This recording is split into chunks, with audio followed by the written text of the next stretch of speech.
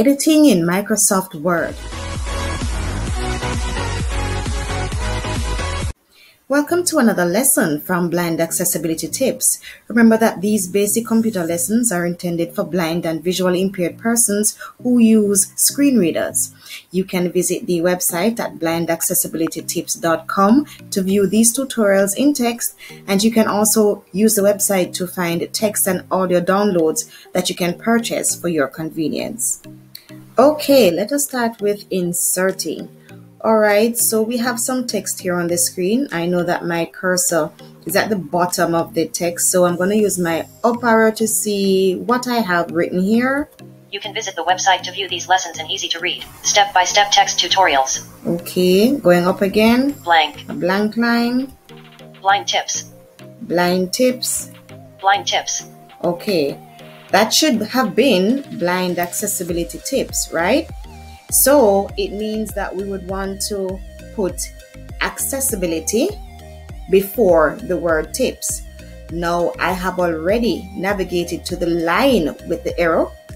You know, from the previous lesson, we uh, learned that using our up or down arrow keys will help us navigate line by line. So I just up arrowed and I got to the very top line that I have in this particular document and it tells me that it has blind tips, whereas it should have been blind accessibility tips. All right, that means we have to navigate to go in front of the word tips, isn't it? Because remember now, the cursor, remember the cursor is that blinking line that every time you move the arrows or so, uh, every time you type, the cursor moves. That cursor is the point or site of insertion. So anywhere that cursor is and you press something, a letter or another character, then it will be inserted there. In this case, I want accessibility to go in front of tips. So I am going to uh, navigate in front of tips. I'm going to navigate word by word. That would be with control right arrow tips. It says tips, which means that the cursor is now in front of the T or to the left of the T in tips. Now, I can go ahead and type accessibility because that is where I want accessibility to go.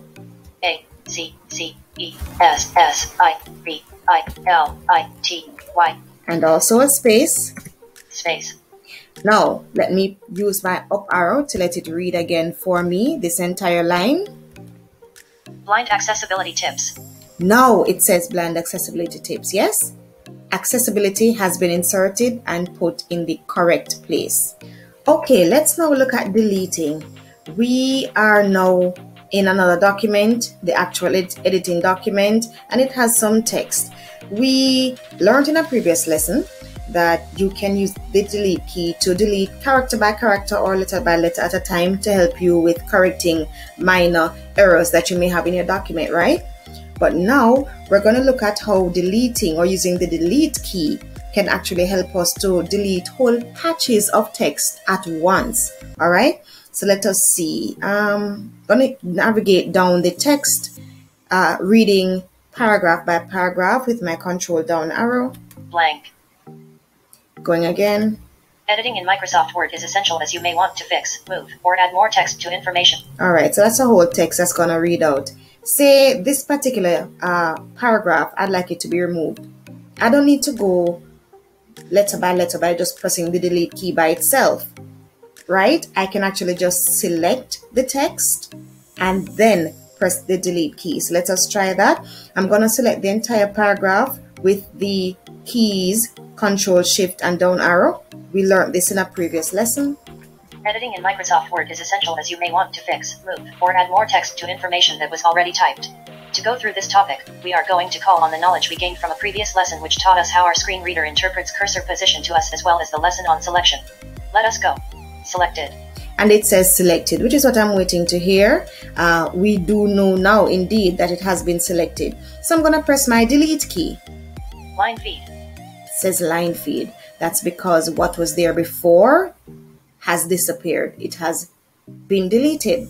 Let me press my control up. Blank. Blank. Let me go back down, control down arrow, because I'm checking paragraph by paragraph to see if that specific paragraph still exists, right? Blank. Blank again, going back, going down once more, control down to the next paragraph. Inserting. Inserting. We didn't get there, which means that the paragraph that was here before inserting has actually been deleted. Okay, now let's look at replacing. We have, you know, gone back into our document and we have back the same text. We're back at the top. Let me press my control home to see if I'm there. Editing in Word, insertion, deletion, replacing. okay, pressing the control key. So that's the very top of the, the text. Now, I'm going to now show you where whenever you select a body of text, whatever letter or character you then go and press, all of your selected text will be removed and replaced with whatever you begin to type, which is why it is very important that if you select a piece of text to do something and you've finished performing the action that you want, you should then use your arrow keys or any of the other cursor control keys that we'll discuss in another lesson. Remo use those keys to move the cursor so that will cause the selection to be removed because if you do not take off the selection of that text, if you go and press any other letter, all of that text will go and be replaced with whatever you begin to type. And you don't want that if you never intended that. But let us see how it works in here. I'm going to navigate down paragraph by paragraph again to the same paragraph that we had heard before. Blank. Editing in Microsoft Word is essential as you may want to fix. Okay, that paragraph, I'm now there. I'm gonna select it again, uh, select it again using the Control Shift down Editing in Microsoft Word is essential as you. Okay, I know it's selected there. It's going to read out all of it and say it's selected. Okay, fine. Let me just go ahead and type now blind. B L I N D. Selection has actually gone and it's been replaced with blind. I'm going to use the up arrow so that you can hear it. Up. Blank. Okay, that's a blank line that was above the paragraph that we had selected. Now let's come back down to where the paragraph was. Blind. Blind. See? What was there before? The entire paragraph has now been replaced with blind. Now, cut, copy, and paste. From time to time, it will become important to move around text when you are editing in Microsoft Word, right? So, in this case, we want to make a copy of our heading and paste it to the bottom of the page. Now, or to the bottom of the document rather.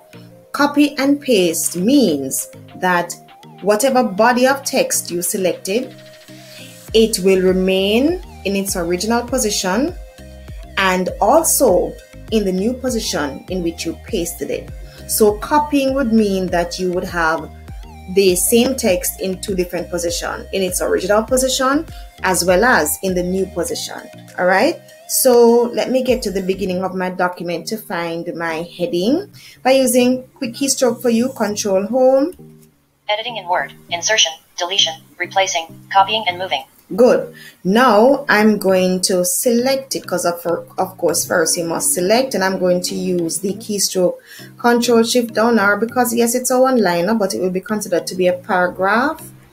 Editing in Word, insertion, deletion, replacing, copying and moving selected. Alright great it has been selected. Now I'm going to use the keystroke for copy control C. Copy.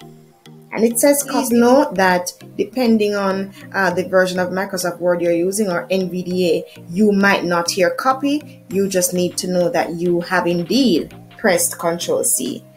All right, now that I have copied, I need to head to the new position in which I would like this, the copy of this text to be put. And I'm going to go to the end of my document by using, again, quick keystroke for you, Control End. Page 2 blank. And it says page 2 blank. So i'm in a blank space at the very very bottom of my document. All right this is where i want to paste my text. I'm going to use control v. Paste. And it says paste going to use my down arrow to see if there's any text at the bottom. Blank. Blank. Well, let me go up. Editing in Word. Insertion, deletion, replacing, copying and moving. Good. There it is. It has been pasted and then the cursor apparently went below, right? So we have done the copy and paste. But let us also check. We know it's we know it's down here at the bottom, right? But let's also check the very top to see if it is still in its original position. I'm just going to use control home Page 1 editing in Word. Insertion, deletion, replacing, copying and moving. And there it is. It still is in its place. So we have done our control. Uh, sorry, we have done copy accurately. All right, cut and paste now. Cut and paste is a, a little different from copying and pasting. Cut would imply that you are actually moving text from one area to the next. So while using copy and paste would mean that the text will remain in its original position as well as also appear in its new position. The cut and paste functions actually make you move text from one area so it will no longer remain in its original position but it will only be found in the new position that you pasted it in. All right, let's find two words to, to cut. Let me see. I'm at the top of my text, control home. Editing in Word. Insertion. Deletion. Replacing. All copying right, gonna and press down. Blank. That's a blank space. Editing in Microsoft Word is essential as you may want to fix, move, or add more text to information that. All right, so we are now at the third line and it has, I'm gonna just select the first two words. So I'm gonna select word by word by using Control Shift right arrow. Editing selected. Editing is selected. Let me select the other word beside it. In selected. In. All right, say we wanted to move these two words from right here. We can use cut and so we wanted to move them and place them somewhere else. We can use cut and paste. Now the keystroke for cut is Control X. Gonna do that. Cut. And it says cut. All right. And just for quick reference, we're just gonna paste them again at the bottom of our um, documents. I'm gonna use Control End. Page 2 blank. That's the position. We found the position. Blank. There's a blank line at the bottom of our document. And again, since we have already cut the text on the top, now we now that we've placed our cursor in the new position that we want the text to go, then is when we can perform the action of paste. So we're going to use Control V. Paste. And it says paste. Up arrow. Editing in Word. Insertion, deletion, replacing, copying and moving. Okay, so that is the text we had copied before. Let me down arrow. Editing in. Editing in. Those are the two words we had just cut from the top. And now they have been pasted down here at the bottom of our of our document. All right, good. So we have performed the action. Just remember that for copy and paste, you must first select, of course, the, the text that you want. Uh, use either Control X, which is for cut, and that is if you want to completely move the text, or use Control C if you actually want to make a copy of that particular text to go somewhere else. After having used Control X or Control C, you must then move your cursor to the new position in which you want to paste this text. In our case, we had just pasted it at the bottom of our document. Now that that might not be your situation. You could have wanted to put it in the middle of some line. Just navigate with your arrow keys or the different reading navigational keys that we had spoken about in the previous lesson Find the position that you want the new text to go or the text to go, and then you perform paste, right? And that wraps up another lesson. Leave a like and comment if this lesson has helped you, and please, please, please subscribe to this channel if you have not yet already done so. We'll see you on the website at blindaccessibilitytips.com